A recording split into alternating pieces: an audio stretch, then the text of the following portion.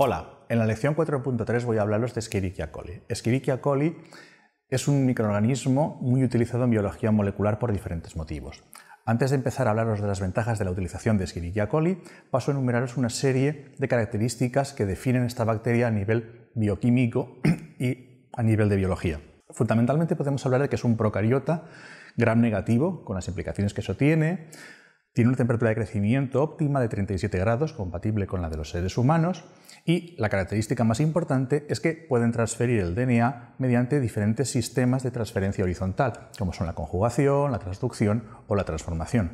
Todo ello posibilita diferentes aproximaciones moleculares que veremos a continuación.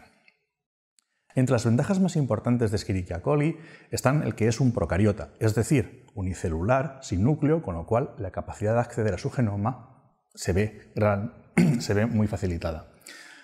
El cultivo de Escherichia coli es fácil y barato. Cualquier persona con un mínimo de formación y a partir de medios de cultivo relativamente baratos puede utilizarla para diferentes usos.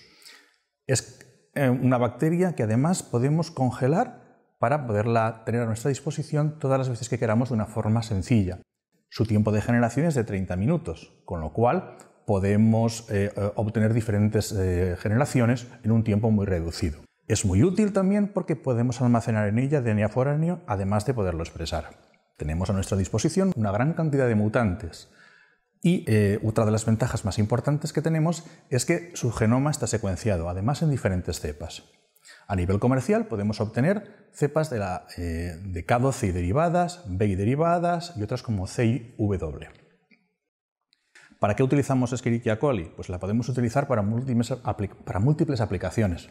Por ejemplo, como modelo estructural de las bacterias gram negativas, para el estudio de su pared celular, además para algunos de sus componentes eh, más importantes, como es por ejemplo el flagelo, o bien para el estudio de diferentes componentes de señalización, como por ejemplo la familia de proteínas Che. También es muy importante los estudios que podemos realizar en Escherichia coli a nivel de fisiología de la división bacteriana, todo lo que conocemos sobre el divisoma, sobre las proteínas CIPA, el anillo FTSZ, eh, ha sido posible gracias al estudio con la utilización de esta bacteria. A nivel genético, a nivel de conjugación, de transducción, la utilización de bacteriófagos, como habéis visto en la lección anterior, es posible mediante la utilización de Escherichia coli.